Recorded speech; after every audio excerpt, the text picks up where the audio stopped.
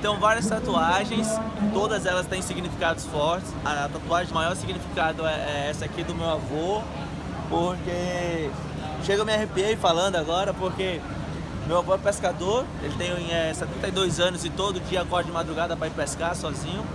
E aqui é ele fazendo rede, aqui é ele na, na jangada dele. Isso aqui é o Morro do Careca. E foi aqui onde eu peguei minha primeira onda, foi aqui onde tudo começou. Então, por isso que essa tatuagem é, é a que mais, a, mais importante, assim.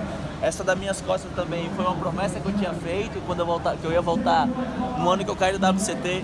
Eu fiz a promessa que eu ia voltar no, no mesmo ano e quando acabasse eu ia tatuar uma águia, porque a história da águia é uma história de superação, mas é, a do meu avô, sem dúvidas, é a tatuagem que mais tem significado mais forte.